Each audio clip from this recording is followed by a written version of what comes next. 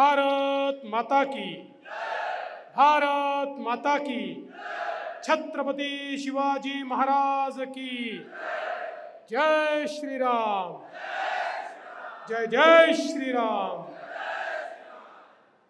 हिंदवी स्वराज्याचे सरसंस्थापक छत्रपती शिवरायांना मानाचा मुजरा करतो. भारतीय राज्यघटनेचे शिल्पकार भारतरत्न डॉक्टर बाबासाहेब आंबेडकर यांना मानवंदना अर्पित करतो. आजच्या या विजय संकल्प सभेमध्ये मंचावर उपस्थित असलेले आपले भारतीय जनता पक्षाचे अध्यक्ष चंद्रशेखर बावनकुळेजी आपले लोकप्रिय उमेदवार सुनील मेंढेजी आपले लोकप्रिय आमदार आणि ज्यांचा उल्लेख आत्ताच बावनकुळे साहेबांनी कार्यसम्राट आमदार म्हणून केला आहे असे विजयभाऊ रांगडालेजी राजेंद्र जैनजी ज्यांचा जन्मदिवस आहे असे आपले अध्यक्ष येशुलालजी उपराळे पंकजजी रांगडाले प्रेमभाऊ रांगडाले हेमंतजी पटले भजनदास वैद्यगुरुजी खुमेजी रांगडाले अविनाशजी जयस्वाल तुमेश्वरी बघेले सोनालीताई देशपांडे सीताताई रांगडाले धनेंद्र अहरे ममताताई वै बैस अजय गौर ओम कटरे डॉक्टर युगेंद्र भगत भाऊराव कठाणे स्वानंद पारधी संजय बारेवार मंचावरील सर्व मान्यवर आणि या ठिकाणी उपस्थित माझ्या सर्व माता भगिनी आणि बंधूंनो. खरं म्हणजे आता निवडणुकीकरता या ठिकाणी आलो आहे. पण लवकरच एका जलपूजनाकरता आणि दुसऱ्या भूमिपूजनाकरता देखील मी या ठिकाणी येणार आहे. मला अतिशय आनंद आहे की या ठिकाणी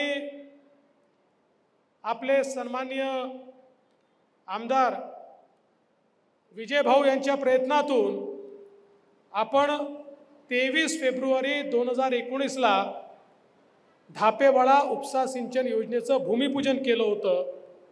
आणि त्याचं काम कोविड असताना देखील अत्यंत वेगाने आपण त्या ठिकाणी केलं. आणि एकतीस डिसेंबर दोन हजार तेवीसला टेस्टिंग करता आपण त्याचं पाणी सोडलेलं आहे. आणि जून निवडणूक झाली मोदीजींनी पुन्हा शपथ घेतली की जूनमध्ये याच्या जलपूजनाकरता मी या ठिकाणी येणार आहे. आणि त्याचसोबत आपण धापेवाडा उपसा सिंचन दोन यालाही पाच हजार दोनशे सतरा कोटी रुपयाची सुप्रमा दिलेली आहे. आणि त्याचं भूमिपूजन देखील त्याच वेळी आपण करणार आहोत. त्यामुळे आपल्या भागाला सुजलाम सुफलाम करण्याकरता निवडणुकीनंतर येईल. आज आलो आहे. तो आपले सुनील मेंढेजी यांना तुमचा आशीर्वाद मिळावा ही विनंती करण्याकरता आलो आहे. बंधू भगिनींनो बावनकुळेजींनी सांगितली गोष्ट खरी आहे. ही निवडणूक ग्रामपंचायतची नाही ही जिल्हा परिषदेची नाही ही नगरपालिकेची नाही ही विधानसभेची देखील निवडणूक नाही. ही निवडणूक देशाचा नेता निवडण्याची निवडणूक आहे. पुढचे पाच वर्ष या देशावर कोण राज्य करेल तुमचं भविष्य आणि भवितव्य पाच वर्षाकरता कोणाच्या हातात द्यायचं याकरताची निवडणूक आहे. आणि इथे आपल्याकडे केवळ दोनच पर्याय आहे तिसरा पर्याय नाही. एक पर्याय विश्वगौरव विकास पुरुष आपले पंतप्रधान नरेंद्र मोदीजी आहेत. मोदीजींच्या नेतृत्वात एन डी ए आहे महायुती आहे. आपली शिवसेना आहे राष्ट्रवादी काँग्रेस आहे रिपाई आहे रासप आहे जनसुराज्य आहे. अशा वेगवेगळ्या पक्षांची बोट या ठिकाणी आपण बांधली आहे. आणि दुसरीकडे राहुल गांधींसोबत सव्वीस पक्षांचं एक खिचडी त्या ठिकाणी आपल्याला पाहायला मिळते. आता आपली महायुती कशी आहे? आपली महायुती मोदीजींच्या नेतृत्वात नेतृत्वात आहे आणि मोदीजींचं भक्कम इंजिन हे आपल्या महायुतीचं इंजिन आहे. आणि या महायुतीला काँग्रेस अस- राष्ट्रवादी काँग्रेस असेल शिवसेना असेल रिपाई असेल वेगवेगळ्या पक्षांचे डब्बे लागले आहेत. विकासाची ट्रेन आहे. आणि मोदीजींच्या नेतृत्वात या ट्रेनमध्ये प्रत्येकाला बसायची जागा आहे. दीन दलित गोर गरीब आदिवासी शेतकरी शेतमजूर महिला अल्पसंख्याक ओबीसी सर्व समाजाच्या लोकांना बसण्याची व्यवस्था मोदीजींच्या ट्रेनमध्ये आहे.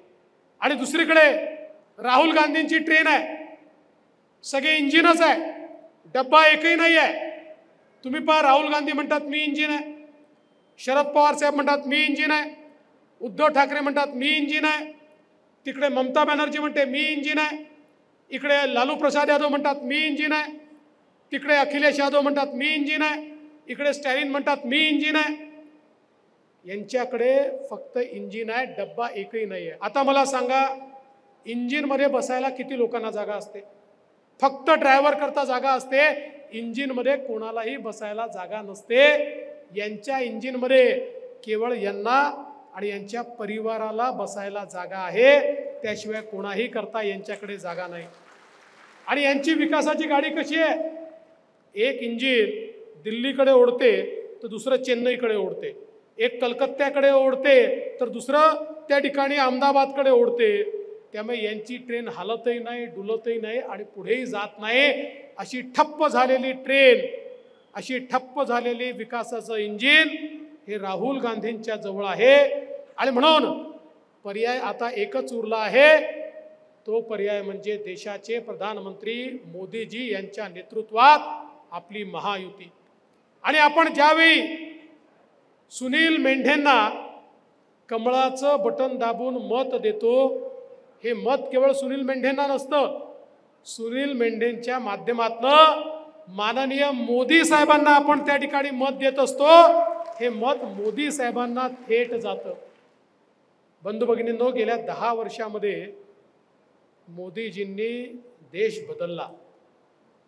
केवळ दहा वर्षात मोदीजींनी पंचवीस कोटी गरिबांना गरिबी रेषेच्या वर आणलं. जगाच्या पाठीवरचा हा एक विक्रम आहे. जगातले अर्थतज्ञ म्हणतात केवळ दहा वर्षात पंचवीस कोटी गरिबांचं जीवन बदलू कसं शकतं? पण ते मोदीजींनी करून दाखवलं. आज प्रधानमंत्री आवास योजनेच्या माध्यमातनं वीस कोटी लोक असे आहेत की जे कच्च्या घरातनं झोपड्यातनं पक्क्या घरात राहायला मिळेल. पंचावन्न कोटी लोक असे आहेत की ज्यांच्या घरी शौचालय नव्हतं मोदीजींमुळे आज त्यांच्याकडे शौचालय आहे. पन्नास कोटी लोक असे आहेत ज्यांच्या घरी गॅस नव्हता त्यांच्याकडे चुलीवर स्वयंपाक व्हायचा. माता भगिनींना चूल फुकत फुकत धुवा आत घेत घेत स्वयंपाक करावा लागायचा. आज त्यांच्या घरी गॅसचं सिलेंडर मोदीजींनी दिलाय. साठ कोटी लोक असे आहेत. स्वातंत्र्याच्या सत्तर वर्षानंतर त्यांच्या घरामध्ये पिण्याचं पाणी येत नव्हतं. माता भगिनींना हंडा घेऊन त्या ठिकाणी विहिरीवर किंवा नदीवर जावं लागायचं. अशा साठ कोटी लोकांच्या घरात शुद्ध पिण्याचं पाणी नळाच्या माध्यमातनं मोदीजींनी केवळ दहा वर्षामध्ये या ठिकाणी पोहोचवलं. आज आपण पहा जवळपास पंचावन्न कोटी लोक अशी आहेत की ज्यांना आयुष्यमान भारत योजनेच्या अंतर्गत पाच लाखापर्यंतचा इलाज मोफत केला. कुठलंही ऑपरेशन असो कुठलाही इलाज लागो एक नवा पैसा त्यांना लागणार नाही. आज आम्ही अनेक ठिकाणी जातो म्हातारे म्हातारे लोक येऊन भेटतात आणि आम्हाला म्हणतात साहेब मोदीजींमुळे जिवंत आहे. माझ्या ऑपरेशनला तीन लाख रुपये लागणार होते. घरच्यांनी आणि आम्ही सगळ्यांनी विचार केला तीन लाखाचं ऑपरेशन करायचं तर घरच विकावं लागेल. त्यापेक्षा आता पुष्कळ वर्ष जगलो मेलं तर काय फरक पडतो? पण त्याचवेळी मोदीजींची आयुष्यमान भारत योजना समजली आणि एकही पैसा लागला नाही. माझं ऑपरेशन झालं आज माझा पुनर्जन्म झाला आहे तो नरेंद्र मोदीजींमुळे झाला आहे हे सांगणारे लाखो लोक आज या ठिकाणी आपल्याला मिळतात. आज आपल्या घरचे जे बुजुर्ग आहेत या बुजुर्गांना मोदीजींच्या माध्यमातनं ज्या सिनियर सिटीजनला आवश्यक गोष्टी आहे कानाचं यंत्र पाहिजे तर कानाचं यंत्र बघतं. कवळी पाहिजे तर कवळी मिळते. चष्मा पाहिजे तर चष्मा मिळतो. चालायला स्टिक पाहिजे तर स्टिक मिळते. कमोड पाहिजे तर कमोड मिळतो. सगळ्या प्रकारच्या गोष्टी मिळतात. आमच्या दिव्यांगांकरता मोदीजींनी प्रॉस्थेटिक लेग आणि प्रॉस्थेटिक हँड याची व्यवस्था केली. जे दिव्यांग चालू शकत नव्हते ते मोटरसायकल चालवू शकतील अशा प्रकारचे जागतिक दर्जाचे कृत्रिम पाय लाखो दिव्यांगांना मोदीजींच्या योजनेतनं त्या ठिकाणी लावण्यात आले. आज आमच्या माता भगिनी मोठ्या प्रमाणात या ठिकाणी आहे मोदीजींनी पंच्याऐंशी लाख बचत गटांना आठ लाख कोटी रुपये त्या ठिकाणी दिले आणि आमच्या माता भगिनींना आपल्या पायावर उभं केलं. आणि एवढंच नाही तर मुद्रासारख्या योजनेमध्ये आमच्या युवांकरता मोदीजींनी पन्नास कोटीपेक्षा जास्त आमच्या युवांना दहा लाखापर्यंतचं कर्ज बिनव्याजी बिना तारणाचं हे त्या ठिकाणी दिलं. आणि माता भगिनींनो याच्यामध्ये साठ टक्के महिला आहेत की ज्या आज आपल्या पायावर उभ्या राहिल्या आहेत. आणि एक गोष्ट आपण लक्षात घ्या मोदीजी असं म्हणतात एक पुरुष जर पायावर उभा राहिला तर केवळ पुरुष पायावर उभा राहतो पण जेव्हा एक महिला पायावर उभी राहते तेव्हा पूर्ण परिवार तिचा पायावर उभा राहतो. आणि म्हणून महिलांना अधिकारिता देण्याचं काम मोदीजींनी या ठिकाणी केलं. आणि एवढंच नाही तर राजू भाऊ आता या मंचावर महिला कमी आहेत. पण आता हे चालणार नाही आहे मोदीजींनी आता महिलांना दोन हजार सव्वीस नंतर लोकसभेमध्ये आणि विधानसभेमध्ये आरक्षण दिलं आहे आता पुढच्या काळात पन्नास टक्के महिला मंचावर आपल्याला घ्याव्याच लागणार आहेत. कारण मोदीजींनी सांगितलं महिलांच्या शिवाय देश चालणार नाही. त्यामुळे समाजातले सगळे लोक आज बघा आमच्या शेतकऱ्यांना मोदीजींनी सहा हजार रुपये त्या ठिकाणी किसान सन्मान निधी दिला. आपणही राज्यातर्फे सहा हजार रुपये दिला. बारा हजार रुपये किसान सन्मान निधी आज आमच्या शेतकऱ्यांना मिळतोय. आमच्या शेतकऱ्यांना मायक्रो युरिया नॅनो युरिया त्या ठिकाणी उपलब्ध करून देण्याचं काम केलं आणि पुढच्या काळामध्ये विशेषतः मोदीजींनी सांगितलंय की पुढच्या पाच वर्षामध्ये मोठ्या प्रमाणात हमीभाव वाढवून आणि भंडारणाची व्यवस्था करून शेतकऱ्यांचं कल्याण करण्याकरता केंद्राचं सरकार हे पूर्णपणे कटिबद्ध आहे. आज आपण पाहू शकतो वेगवेगळ्या योजना शेतकऱ्यांकरता मोदीजींनी केल्या. मग त्याच्यामध्ये आज आपण फसल विमा योजना असू द्या त्या ठिकाणी भरणाराची योजना असू द्या त्या ठिकाणी खरेदीची योजना असू द्या. दहा वर्षामध्ये यू पी एच्या सरकारमध्ये जेवढ्या शेतमालाची खरेदी झाली त्याच्या दहा पट जास्त शेतमालाची खरेदी ही आपल्या सरकारमध्ये त्या ठिकाणी दहा वर्षात आपण केली. आणि भंडारा गोंदियात तर सगळ्यांना माहिती आहे की आमच्या धानाच्या शेतकऱ्याला वीस हजार रुपयाचा बोनस हा त्या ठिकाणी आपल्या सरकारच्या माध्यमातून आपण दिला. माननीय एकनाथरावजी शिंदे असतील अजितदादा पवार असतील मी असेन प्रफुल्लभाई असतील आम्ही सगळ्यांनी निर्णय केला की आपल्या शेतकऱ्यांना मदत केली पाहिजे आणि ही मदत आज आपण केली. एवढंच नाही तर आता सौर कृषी वाहिनी योजना आपण आणतो आणि या योजनेच्या अंतर्गत पुढच्या दीड ते दोन वर्षामध्ये भंडारा गोंदियासहित महाराष्ट्रातल्या सगळ्या शेतकऱ्यांना बारा तास दिवसा वीज अखंडित आम्ही देण्याचा निर्णय घेतलेला आहे. त्याची तयारी आता आम्ही सुरू केलेली आहे.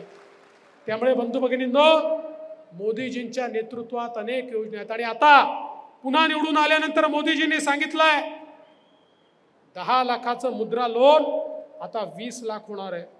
आणि दुसरी महत्वाची योजना मोदीजींनी आणली आहे. कोविडपासनं मोदीजी ऐंशी कोटी लोकांना मोफत रेशन देत आहेत. मोदीजींनी सांगितलं पुढचे पाच वर्ष ऐंशी कोटी लोकांना मोफत रेशन देण्यात येईल. त्यांच्याकडनं एक पैसा घेतला जाणार नाही.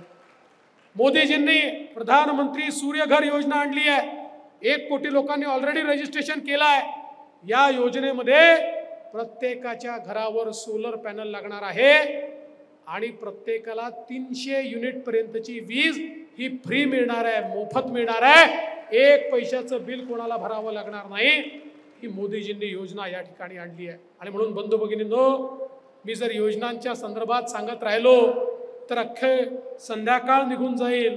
पण मला एवढंच सांगायचं आहे मोदीजींनी गरीब कल्याणाचा अजेंडा चालवला. मोदीजींनी एक मजबूत अर्थव्यवस्था तयार केली. जगातली पाचवी सगळ्यात मोठी अर्थव्यवस्था आता भारताची आहे. आणि मोदीजींना तिसरी टर्म दिली की मोदीजी आपल्या अर्थव्यवस्थेला जगातली तिसरी सगळ्यात मोठी अर्थव्यवस्था करणार आहे. अर्थव्यवस्था जेव्हा मोठी होते तेव्हा काय होतं? अर्थव्यवस्था मोठी होते संधी तयार होते अर्थव्यवस्था मोठी होते रोजगाराची निर्मिती होते अर्थव्यवस्था मोठी होते नोकऱ्या मिळतात अर्थव्यवस्था मोठी होते गरीब कल्याणाचा अजेंडा चालतो अर्थव्यवस्था मोठी होते संरक्षणाकरता पैसा मिळतो. अर्थव्यवस्था जेव्हा मोठी होते तेव्हा मोठ्या प्रमाणात देशाची प्रगती होते. आणि मोदीजींनी तर सांगितलं पिछले दस साल ये तो ट्रेलर था पिक्चर अभी बाकी है। अगले पाच साल आपको पिक्चर दिखाएंगे। पुढच्या पाच वर्षामध्ये एक बलशाली भारत आणि एक बलशाली महाराष्ट्र आपण तयार करणार आहोत.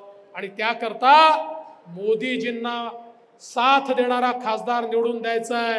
आणि म्हणून येत्या एकोणीस तारखेला ज्यावेळी आपण कमळाचं बटन दाबू त्यावेळी वोट सुनील मेंढेला मिळेल आणि शॉक काँग्रेसवाल्यांना लागेल आणि या देशामध्ये पुन्हा मोदीजींचं सरकार तयार होईल. त्याकरता आपण सगळ्यांनी आशीर्वाद द्यावा एवढीच विनंती करतो आणि माझं बोलणं संपवतो. धन्यवाद. जय हिंद.